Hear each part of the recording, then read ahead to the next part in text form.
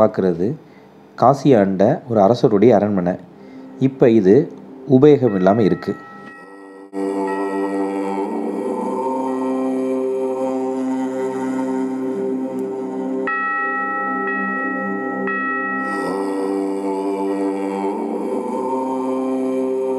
இதுதான் காசியோடைய முக்கிய வீதி. இங்கேருந்து தான் நம்ம கங்கைக்கு போனாலும் சரி காசி விஸ்வநாதரை பார்க்க போனாலும் சரி இந்த இடத்துல இருந்து தான் பொய்யாகணும்.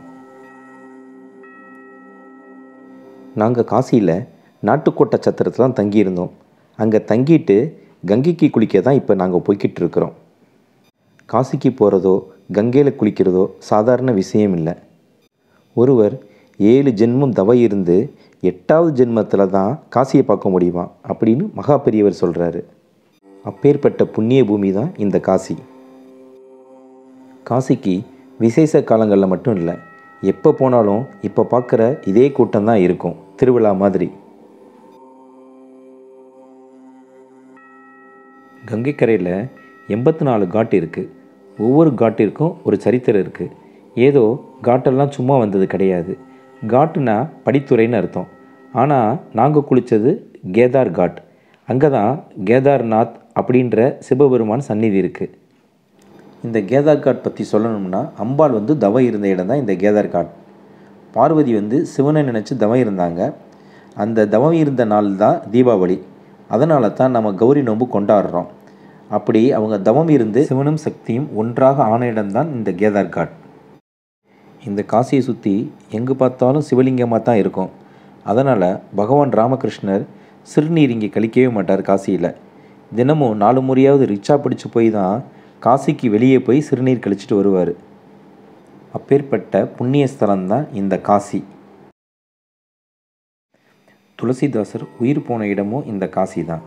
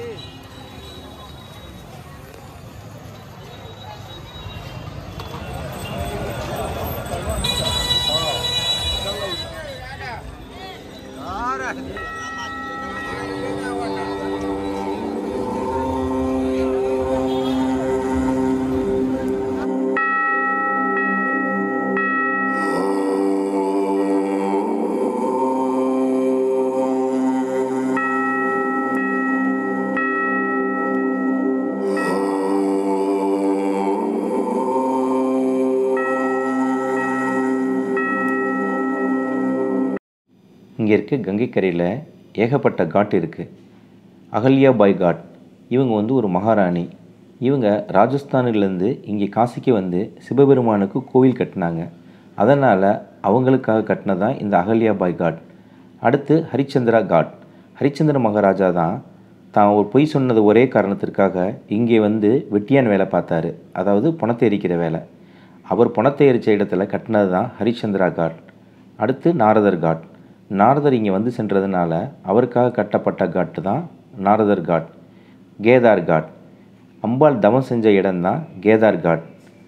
துளசி காட். துளசிதாசர் தான் இங்கே இருந்து தான் ராமாயணத்தை எழுதினார்.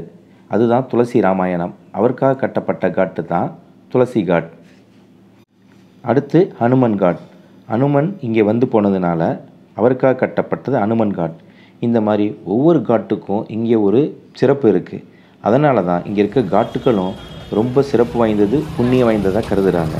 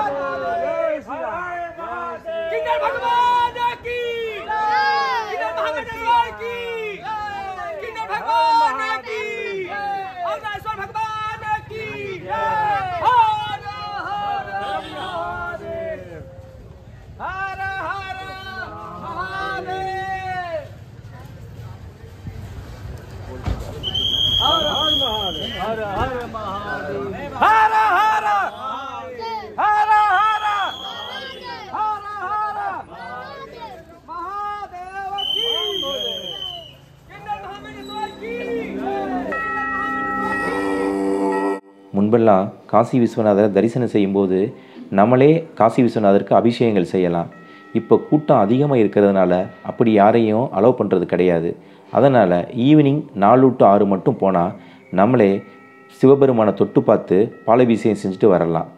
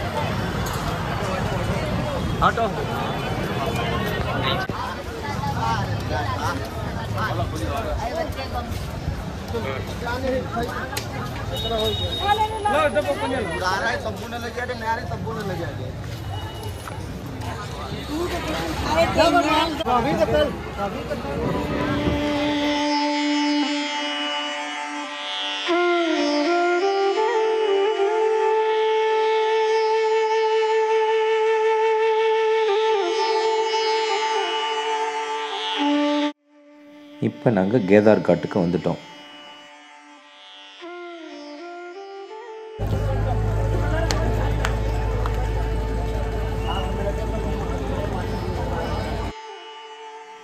இதுதான் கங்கை ஆறு. நாங்கள் போகிறப்ப பயங்கர வெள்ளமாக ஓடிக்கிட்டு இருந்துச்சு. யாரையும் நடுவில் குளிக்க அலோவ் பண்ணலை. ஒரு ஓரத்தில் தான் குளிக்கிறதுக்கு அலோவ் பண்ணாங்க.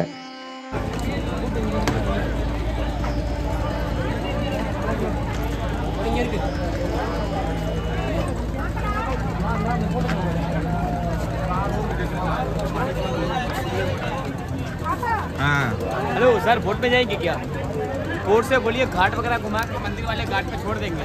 मंदिर यहाँ से बहुत दूर है अभी।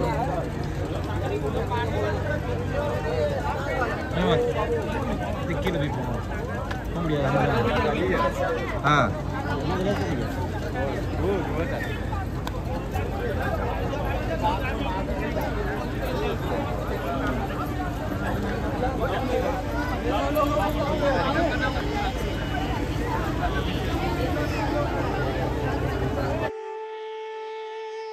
இதுதான் கேதார் காட்.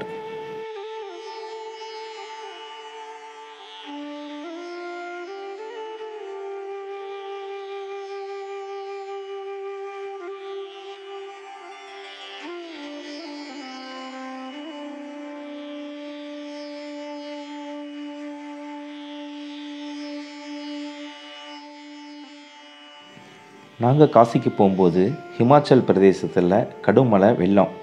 அதோடைய பாதிப்பு தான் கங்கையில் இப்போ தண்ணி கரைபுரண்டு ஓடிக்கிட்டு இருக்கு அதனால் நாங்கள் கரை ஓரத்தில் தான் குளித்தோம் நாங்கள் குளித்த இடத்துலேருந்து எங்களுக்கு கீழே எப்படியும் ஒரு ஐம்பது நூறு படியாவது இருக்கும். அதெல்லாம் இப்போ வெள்ளம் போகிறதுனால தெரியலை.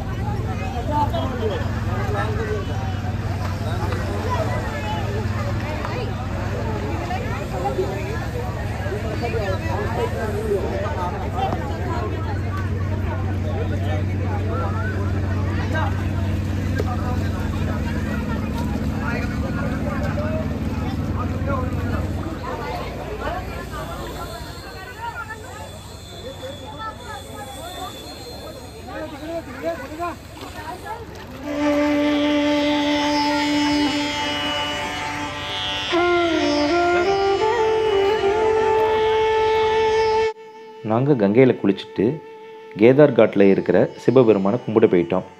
ஆனால் காசி விஸ்வநாதர்ன்ற கோவில் இன்னும் கொஞ்சம் தூரத்தில் இருக்குது அவர் தான் காசியில் மெயின்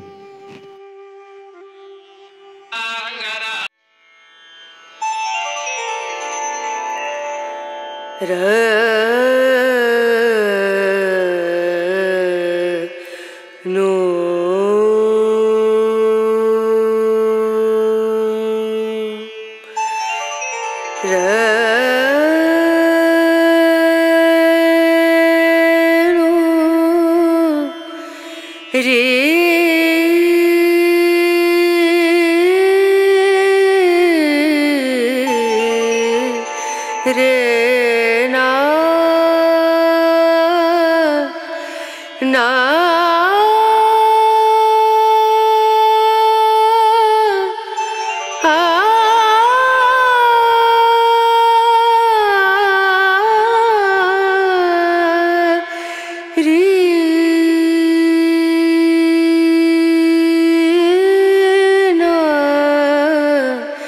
re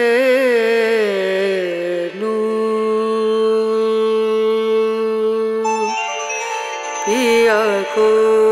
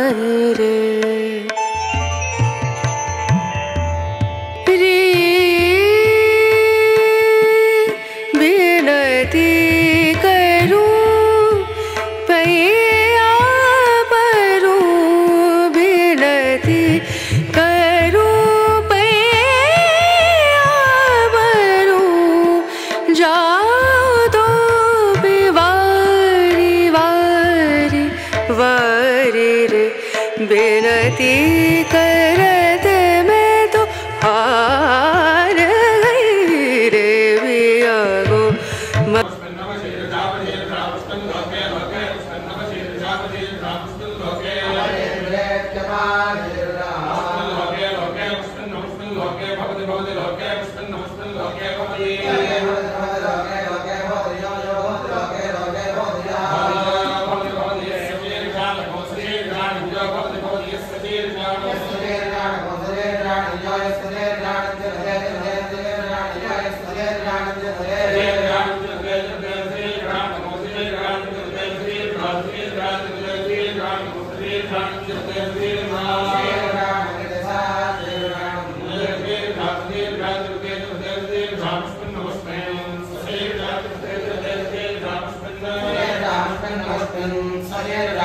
रामस्पन लोगे लोगे स्पन सदैव रात्रि रामस्पन लोगे